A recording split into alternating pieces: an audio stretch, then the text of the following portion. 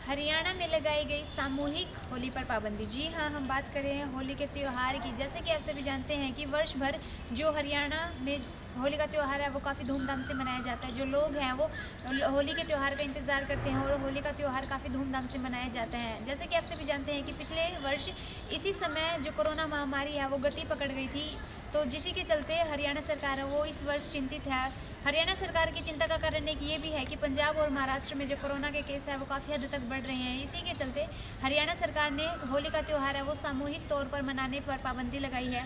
आपको बता दें कि हाल ही में बुधवार को हरियाणा में भी जो कोरोना के केस है, वो नौ सौ इक्यासी मिले हैं और मृत्यु दर भी एक प्रतिशत बढ़ गई है। जिसी के चलते हरियाणा सरकार ने एक नई मुहिम चलाई है, जिसमें उन्होंने लोगों से अपील की है कि आप जो होली का त्यौहार है, वो घर पर ही बैठकर मनाए। सामूहिक किसी भी प्रकार के जो सामूहिक समारोह है, उसमें सम्मिलित ना हो, जिसके चलते जो कोरोना महामारी है, वो और भी अधिक बढ़ बढ़ जाए। दूसरी ओर आपको बता दें कि भूपेंद्र हुड्डा जो हमारे पहले के जो सीएम रहे हैं हरियाणा के, उनका कहना है कि जो कृषि कानून है, उनके चलते जो किसान है, वो आंदोलन कर रहे हैं। और आपको बता दें कि जो किसान आंदोलन है, उसमें काफ़ी किसानों की जो मौत हो चुकी है तो उनको उनको श्रद्धांजलि देने के लिए भूपेंद्र सिंह हुड्डा ने इस बार होली का त्यौहार मनाने पर पाबंदी लगाई है। तो देखने वाली बात वो ये रहेगी कि क्या जो होली का त्यौहार है, वो इस पर अब हर वर्ष की तरह इस बार भी सामूहिक तौर पर मनाया जाता है या नहीं? क्या लोग एहतियात बरतते हुए अब अपनी सावधानी अपने हाथ में ही रखेंगे? इसी के साथ कैमरा पर्सन अनुराग के साथ मैं अंजलि ए नेटवर्क पानी